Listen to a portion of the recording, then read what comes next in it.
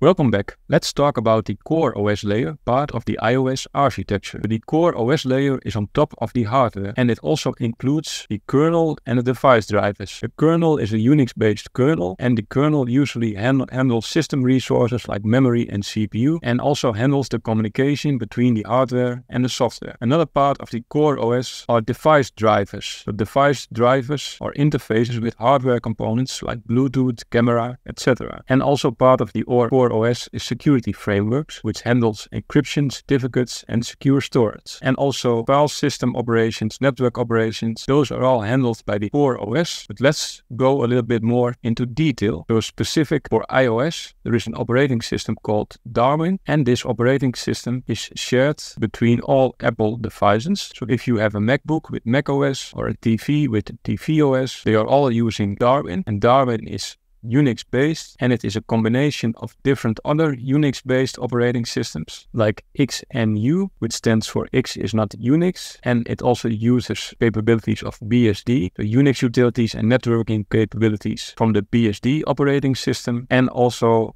it uses some part of the so-called Mach kernel, which handles inter-process communication and memory management, and also the drivers. Let's look into a practical example. So if you're doing an iOS lab within Mobile Hacking Lab, or if you have a lab subscription, you should be able to open the console on an iOS device. You should be able to open the console on an iOS device. So in this case, I have an iPhone 7 with iOS 15.8 installed. The latest iOS at this moment is 80, but it does not really matter because in this case, I just want to do the Linux command or the same command you can do on other Linux distributions, which is uname minus v, which will give you the version of your current operating system. And in this case, it gives you the output Darwin kernel version 21.6.0 and also this X not Unix with the specific version. But those are already two components part of the core operating system. And you can also go to developer.apple.com if you want more details about the kernel. So in this course, we will not go that deep,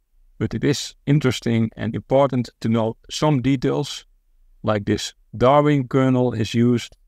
And you can see similar pictures of this kernel environment containing of BSD components and Mach components. And what is, for example, interesting is this Mach managed processor resources such as CPU and memory. Later, we are going to look into reverse engineering and also the file type within iOS is also called Mach or Mach-O is an object file format within iOS. So all those kernel related things might be useful later in this training because if we look into the file system and the file formats, then it is also related to this kernel. And another example is this IOKit provides a framework for simplified driver management.